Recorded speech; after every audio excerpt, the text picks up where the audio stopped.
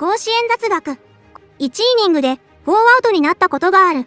3アウトになっても、選手も監督も、あろうことか審判も気づかず、そのままイニング続行で、4アウトを取って、その回がようやく、終わった。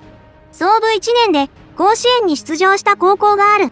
岡山県の創志学園は、2010年の春に野球部を創部した。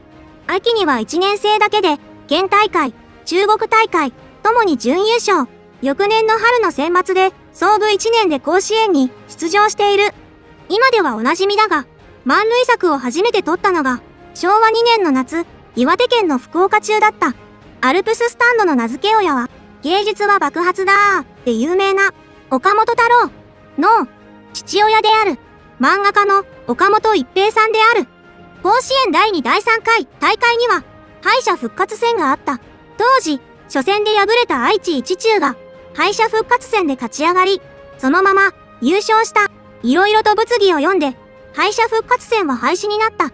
昭和3年の夏、雨が続いて、しまい、グラウンドにガソリンを撒いて火をつけ、内野を乾かしたことが何度かある。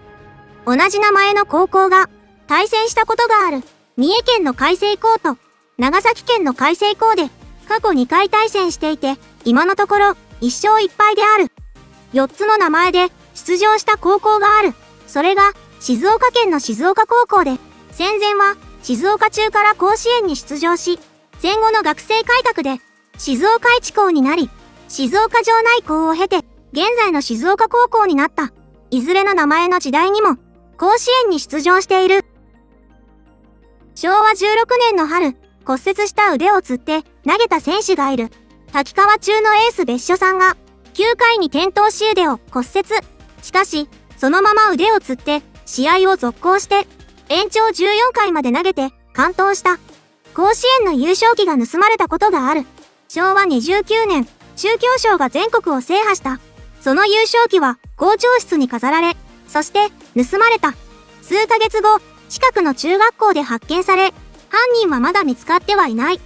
1915年8月18日に大阪の豊中球場で甲子園第1回大会が開催、10校が参加。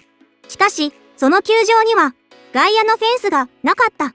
甲子園球場で開催されるようになったのは、第10回大会からだそうです。大谷くんは二刀流ですすぎる。